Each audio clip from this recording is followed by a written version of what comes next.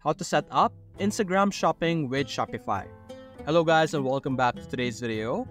In today's video, I'm going to be showing you how you will be able to integrate and utilize your Instagram shopping or Instagram shop with Shopify. Now, Shopify in itself does not support Instagram, but with the use of apps, you will be able to use Instagram related features, even or including the shops. So simply select apps over here on the left side, click on add apps, and over here, you will see this pop up over here. Simply click on Shopify App Store at the bottom section, and we will be redirected to another page. In this page, simply select the search bar on the top and simply search for Instagram Shop.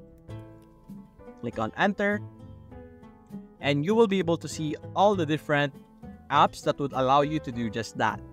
So for example, this one, Instagram Shop and Facebook Shop will basically allow you to sell your different items on your Shopify store and sell Shopify products into your Instagram shop, including Facebook shop.